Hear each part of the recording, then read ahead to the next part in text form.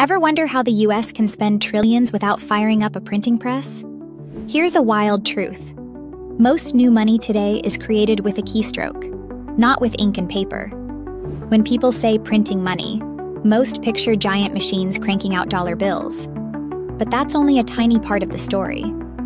Over 90% of US currency isn't physical, it's digital, created by the Federal Reserve through a process called quantitative easing. Instead of printing cash, the Fed adds money to the system by literally typing it into a computer. That money is used to buy financial assets like government bonds from commercial banks. In return, those banks get fresh funds they can lend to businesses and consumers, stimulating spending and keeping interest rates low. The Fed used this tool heavily during the 2008 financial crisis and again in 2020 during the COVID 19 pandemic, injecting trillions into the economy. But there's a risk. Too much money in circulation can lead to inflation, which erodes your buying power.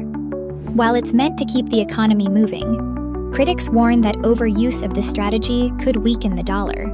So, yes, the US prints money, but it does it digitally, with huge economic consequences most people never see.